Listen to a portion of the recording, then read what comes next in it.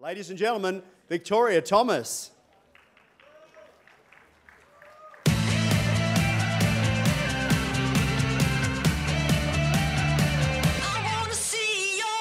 And let's make her feel welcome. Let's give it up.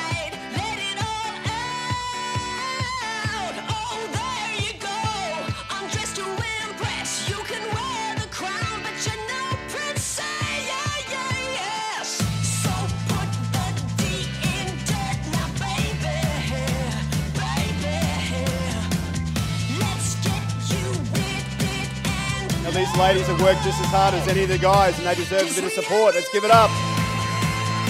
Good on you.